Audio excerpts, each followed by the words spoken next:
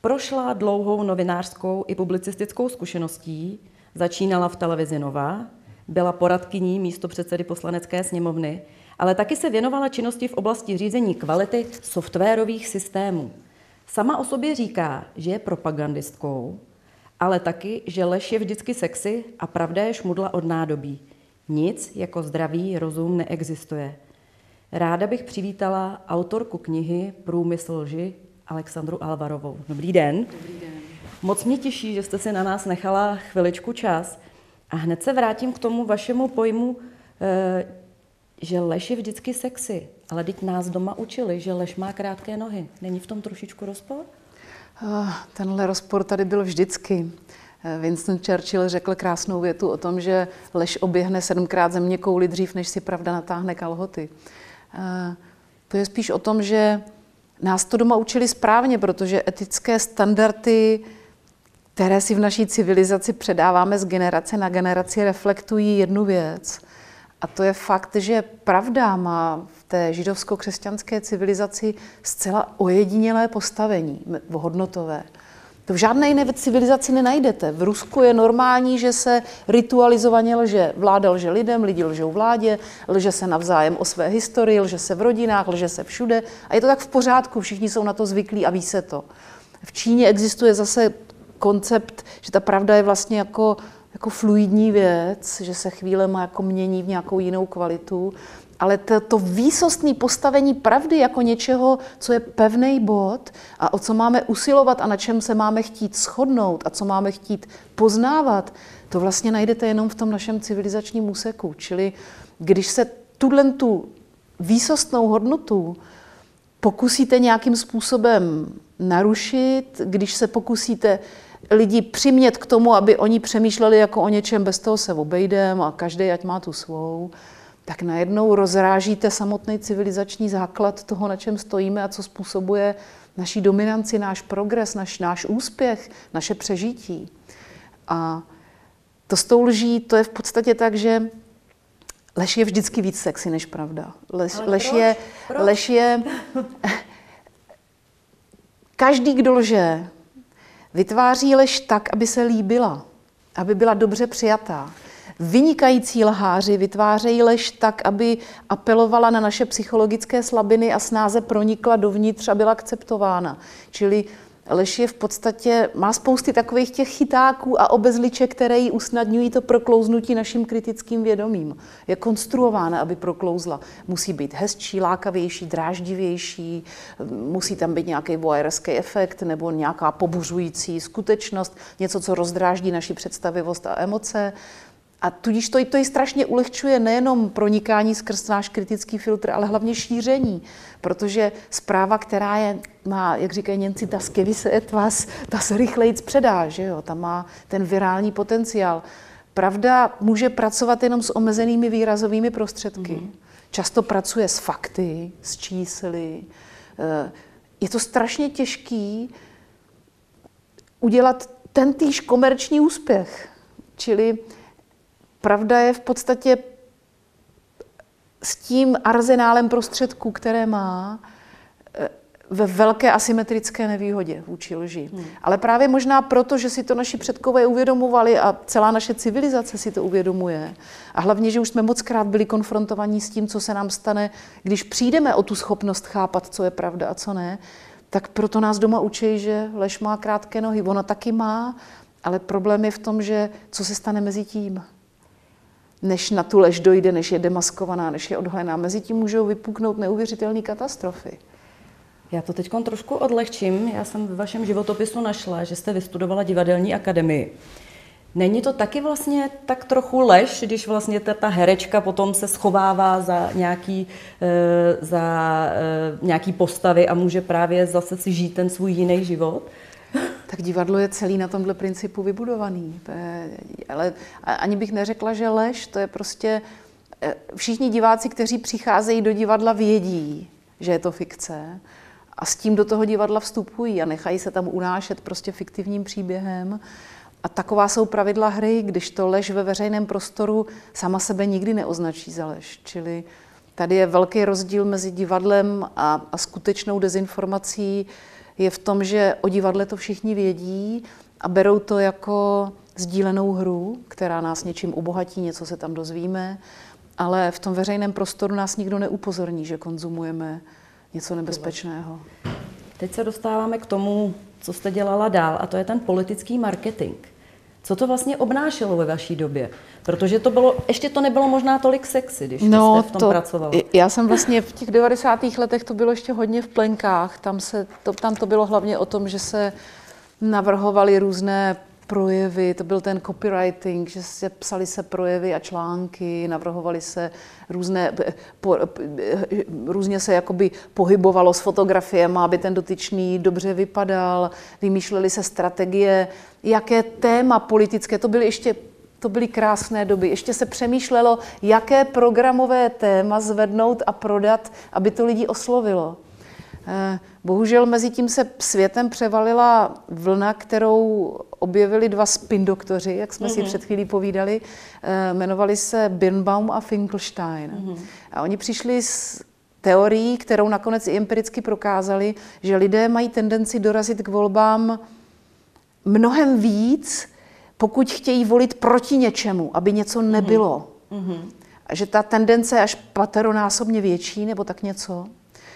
A když lidi chtějí, aby něco bylo, to znamená kvůli programu politickému, aby se něco splnilo, spravilo, mm-hmm. dokázalo, posunulo, tak ta motivace už není tak silná. Vlastně to postrádá smysl pro ty lidi jít volit. No a jakmile to ty strany celosvětové pochopily, tak se spustila teda naprostá katastrofa nové vlny politického marketingu, hmm. založeného na přesvědčení, že zapomeňte na program, potřebujeme nepřítele.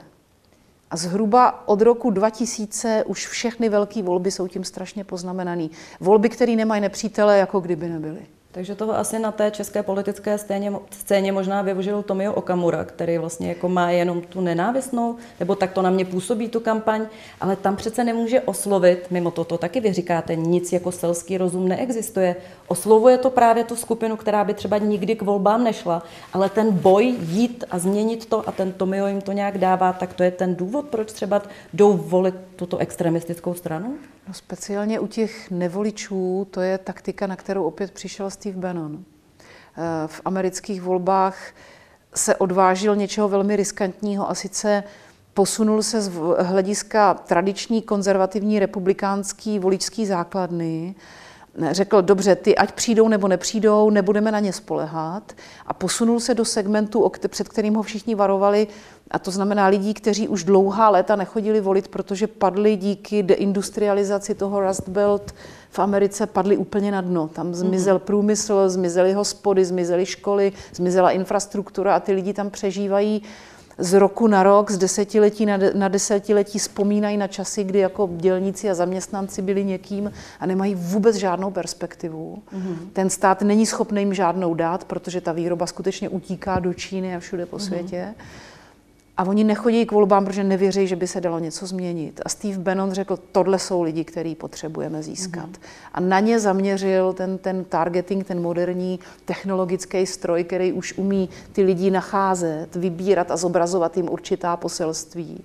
A ono to skutečně zafungovalo, takže to ty lidi neuvěřitelně radikalizovalo a vzbudilo to v nich dojem, že zase někým jsou, za někým můžou jít. A ten někdo jim dokonce dá možnost kopnout zpátky za ta příkoří, která se jim stala. A není to teď to, co říkáte, demotivující pro tradiční strany, které jsou tady v České republice, protože ty přicházejí většinou s nějakým programem a vy vlastně jim teď, jako říkáte, ani to nedělejte, protože je to asi zbytečný. Já jim to neříkám. ale, Bavíme se o tom, ale ale ten působí, trend že... takhle skutečně vypadá. To znamená, že programy zlepšení sociální politiky, zlepšení sociálního života už dneska v té, a protože ty politické strany to jedou už dlouho, tenhle recept, to hledání toho nepřítele, naštvání a dneska tomu podléhají, čím dál tím víc těch mainstreamových solidních stran tomuhle trendu začíná podléhat. A, a ten nepřítel se různě stěhuje. Nejdřív jsou to korupčníci, Odeska, Klaus, pak migranti, uh, čmoudi v uvozovkách, že všechny ty rasistické strejmy, který, který můžete zachytit na těch, na těch pamédích, který dneska buje jak houby po dešti. Ale pak tady máme najednou konzervativní politický prout nám zasáhl genderismus, že ženský se utrhli ze řetězu a pak homosexualisti, ale furt je to o tom, řešej ty nepřátele, který se na nás valej a chtějí nám něco. A najednou máte ten motiv a nikdo už se nezeptá, a jak to teda myslíte s těma důchodama? Protože už na to není vlastně prostor. Není prostor, tam... ne, nejde v té přemíře veřejných informací, už to nemůžete pobrat ani si to zapamatovat. A ta komunikace funguje tak, že váš mozek si přednostně vybere tu informaci, která má silnější emocionální náboj, ne tu, která má nějaký racionální impact. Mimo to vy sama jste kdysi kandidovala do evropských voleb a s vašima zkušenostmi jste přece musela přeskákat i z posledního místa. Proč se tak nestalo? Já vás opravím, já jsem nekandidovala do evropských voleb, já jsem kandidovala do krajských voleb. Dobře, tak se omlouvám. Ale a... přesto tuším, že jste byla šestka nebo někde no, no, no, a no. s vaší prostě zkušeností to přece um, musela být hračka. Já si myslím, že ne. Já, já mám pocit, že KDU ČSL je v podstatě strana, kde která je jenom jakoby extrémním sukusem toho přesvědčení, které obecně existuje v české společnosti. A sice, že je v pořádku a že je bezpečné a správné, když muž řídí a žena pečuje. A je v tom velký jakoby náboj toho sdíleného narrativu, jak svět má vypadat, jak je v pořádku. A když vy ten narrativ narušíte, tak vlastně jdete proti tomu světu, jak je v pořádku a tudíž děláte něco, co ty lidi nevnímají úplně dobře. A můžete být sebelepší kandidát, ale narušujete tohle tu základní pravdu o světě. Mm-hmm. A to těm, že nám tu, tu pozici strašně stěžuje, protože lidé si neuvědomují, že tohle to v sobě mají. Oni to nevědí. Oni jako říkají, jo, ta by byla třeba dobrá, ale pak je tu ještě tady pan XYZ, čili a ono to skákání vůbec, jako speciálně u lidovců si myslím, že není vůbec jako téma, jo, moc mm-hmm. velký. Mm-hmm. Ale když už se stane, tak to už musí být zatraceně silný impuls od někud zvenčí, aby teda členové šli a někoho překrouškovali. To je jako specifikum, specifický pro tuhle konzervativní mm-hmm. stranu. Ale ta pozice žen prostě obecně v každé politické straně je komplikovaná tím přesvědčením mužů i žen, voličů, mm-hmm. že muž řídí a žena pečuje. Máte a že pocit? každá žena, která se pokusí z tohohle schématu vystoupit, je, je nějak divná. Máte pocit, že by to vyřešily kvóty? To zas bude dopisu. ano. A mě, myslíte si, že ty kvóty by měly být 50 na 50, nebo už zase půjdeme do diskriminace 25 k 75? To nechci vůbec řešit. Já si myslím, že nějaké by být měly, a sice z mhm. jednoduchého důvodu. Německá CDU je zavedla, a to je konzervativní strana. Mm-hmm. Uh, existují klíče na různých kandidátkách a nejenom těch dnes tolik jako uh, levicových a neomarxistů, mm, že mhm, jak se říká mm. moderní propaganda. E, I konzervativní strany mají prostě nějaký klíč, podle kterého nasávají ženy do politiky, protože vědí, že tato překážka přirozená ve vědomí lidí tam pořád je a vytvořila za ta staletí, kdy se ženy nemohly, byly, nedávno ještě máme dobu, kdy nemohly ani volit. E, e, před x desítkami let nemohli studovat. Čili ty postupně eh, v Americe koncem na přelomu 18. a 19. století se eh, konečně začalo diskutovat o zrušení zákona, který přešel do Ameriky z britského práva o tom, že žena nesmí vlastnit žádný majetek, že o její majetku rozhoduje muž. Mm-hmm. Čili to není zas tak dávno a na základě těch staletí vlastně zůstaly určitý bloky ve schopnosti žen komunikovat. Protože ženám se obecně vyplatí strategie přežití buď krásná a mlč. A matky to učí dcery, dcery to učí, eh, eh, babičky to učí vnučky. A to nevymažete z ženských hlav jen tak. Prostě to se osvědčuje. Koleduju si o nejmenší problémy. Když mlčím, jsem hezká, usmívám se a jsem příjemná a pečující, nemám nejmenší problém. A Tohle to je hluboce zakořeněný v našem komunikačním prostoru, zvyklostech a hlavách. A teď, když přijde nějaká i třeba ženská, která chce kandidovat, tak najednou narazí na to, že má velký problém jako promluvit před lidma, mm-hmm. že má velký problém přerušit debatu mužů, že má velký, cítí jako velký problém vyjádřit vlastní názor, protože si není úplně jistá, jestli bude dobře přijat. A to má jako v podvědomí zabudovaný. Hmm. To je prostě výchova, styl, společnost, škola. Kam, kam přijdete, tam je prostě... Eh, holčičkám se říká, když je kluk lídr party, všichni řeknou, ten má tah na bránu. Když je holka lídr, na, jako lídr party, tak se oni říká, ona je nějaká panovačná. To je pravda. Jo. To je nějaká prezidentka země koule, dejte si na ní bacha.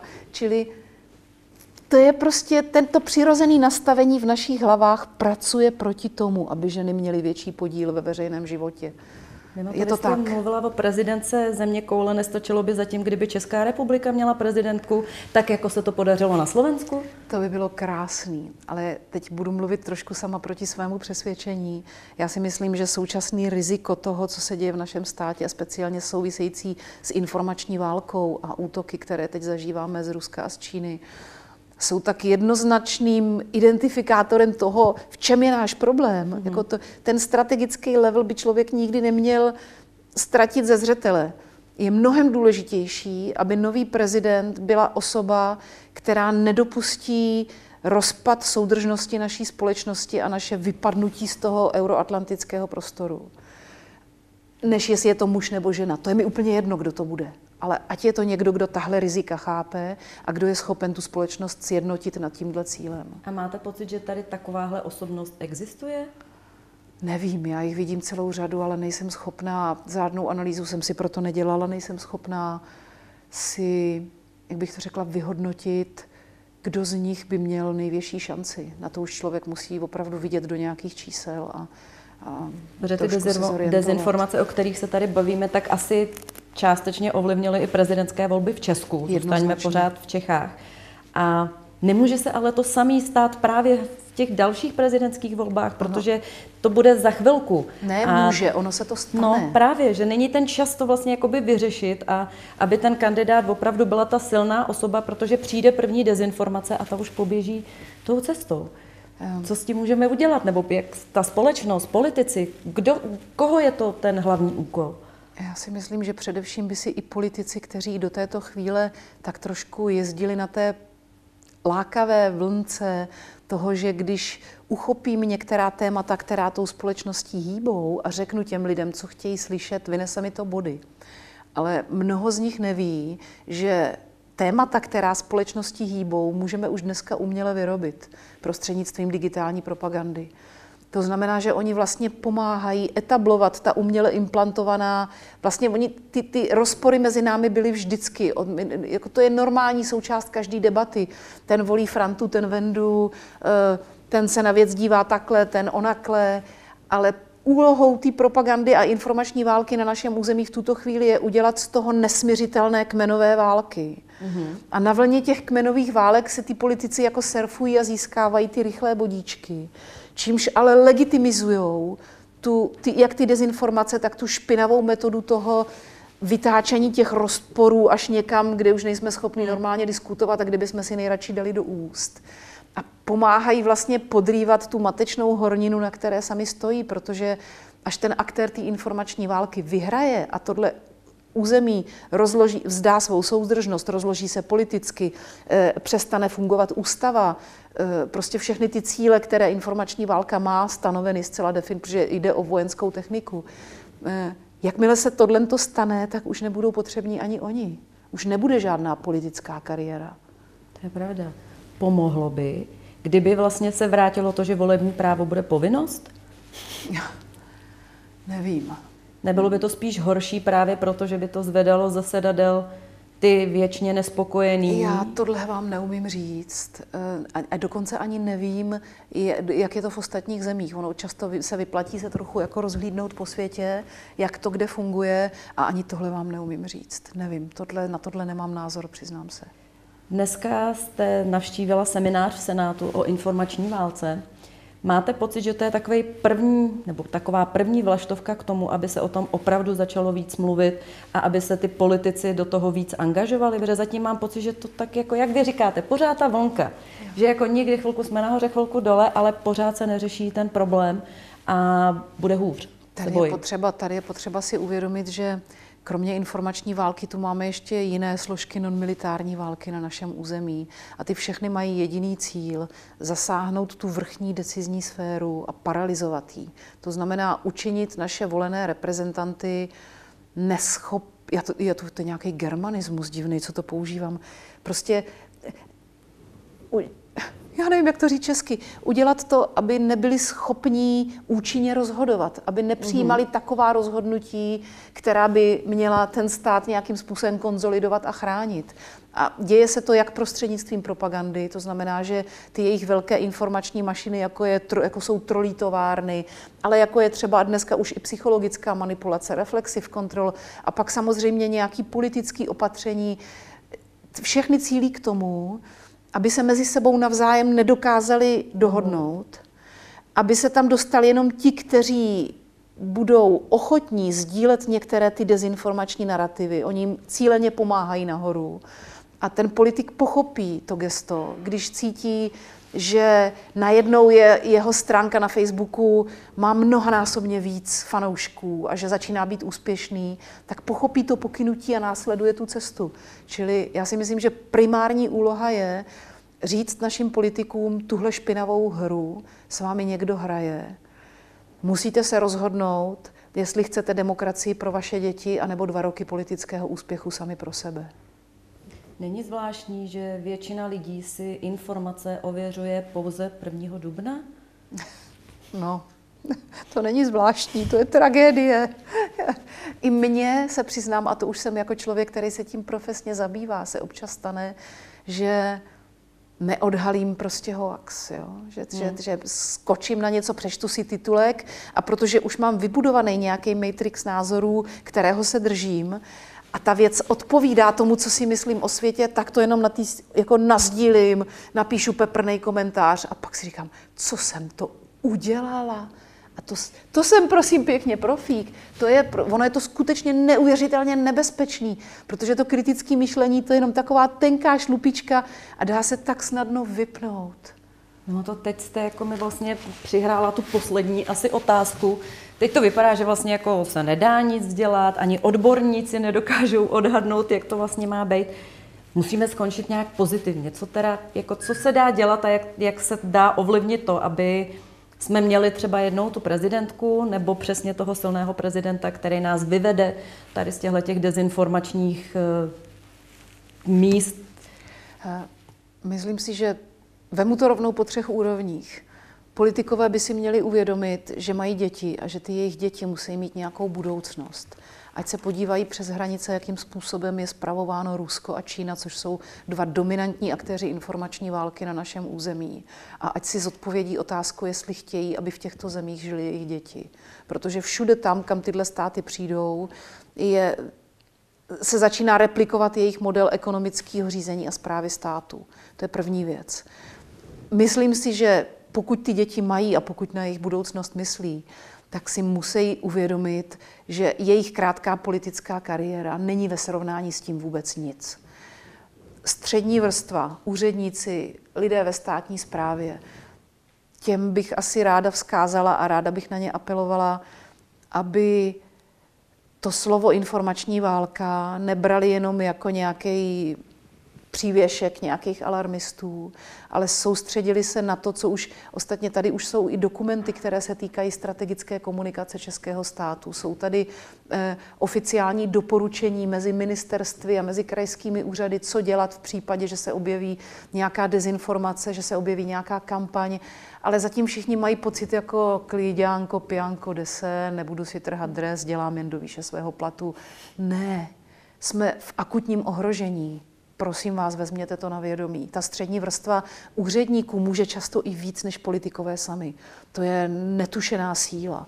No a pak tady máme občany, kteří vůbec nevědí, kdo si si jejich mozky hraje na sociálních sítích. A těm bych ráda řekla, že nejvyšší hodnotou, mnohem vyšší než to, kdo volí Zemana a kdo Piráty, mnohem vyšší hodnotou než to, kdo má teď pravdu a kdo nemá pravdu, je soudržnost té společnosti na tu primárně informační válka cílí. A to už je od starověku, ještě staří čínští mistři válčení tohle to věděli, že když rozbijete soudržnost populace, ta populace není schopná se bránit účinně. Neschodnou se vůbec na ničem, jak říkám, vedou spolu kmenové války o tom, jestli má, být, jestli má mít Karel Gott pohřeb státní nebo nestátní a zaměstnají si tím celou hlavu na mnoho týdnů dopředu. A už nemají kapacitu na to posuzovat, jestli tady neexistují nějaké důležitější věci. A ta soudržnost se potom projevuje i v tom, že ti, kteří si myslí, že jsou majiteli té správné pravdy, jsou potom mnohem násilnější vůči těm, o kterých se domnívají, že nejsou majiteli té správné pravdy. A vzniká tady jakési předpolí občanské války. A to je nesmírně nebezpečná situace. Čili ta soudržnost, to slovo bych, já ho pořád opakuju, prostě nedá se nic dělat, že můj soused přes uličku volí někoho jiného. No a co? Přestanu mu kvůli tomu pomáhat s nákupama? Nebo nezavolám mu doktora, nebo nepomůžu mu v drobných věcech? Ne, jsme přece Češi, jsme sousedi. To je mnohem důležitější fakt, který si jako lidi musíme uvědomit. A když si tohle uvědomíme, tak toho nejdůležitějšího cíle informační války nebude dosaženo. Tak já vám moc děkuji za částečně pozitivní slova. Vím, že vy jezdíte eh, po těch různých seminářích, takže můžete tyhle informace šířit dál a doufám, že bude čím dál tím víc a víc lidí, kteří budou přijímat ty vaše informace. Nebudou si myslet, že to je další dezinformace a že bude líp. Já doufám, že líp bude, já jsem hrozný optimista. A já si hlavně myslím, že přestože jsou Češi hrozně konzervativní a strašně nesnášejí, kromě nových technologií, v tom jsou jedničky, strašně nesnášejí změnu chování, změnu poměrů, změnu zvyklostí, proto se tady tak dobře chytá ten narrativ o té naší tradiční hmm. české rodině, hmm. tradiční hmm. česká kultura. My strašně milujeme to, co už je a hrozně se bojíme toho, že když to přijde zvlášť zvenčí nebo ze zhora, může to být něco hroznýho, že máme spoustu špatných hmm. zkušeností ale přesto všechno věřím, že v momentě, a už jsme to mnohokrát v historii prokázali, kdy pochopíme, co nám hrozí, že jsme schopni velikých věcí a překonat i ty rozpory, které mezi sebou máme kvůli politice, kvůli gotovi, kvůli globálnímu oteplování, kvůli ženám v politice, protože to je nakonec až druhořadá věc. Prvořadý je, že tenhle prostor nesmí nikdo rozložit na prvočinitele. A to myslím, že jsme schopni si uvědomit. Tak ještě jednou děkuji za rozhovor. A rádo se stalo.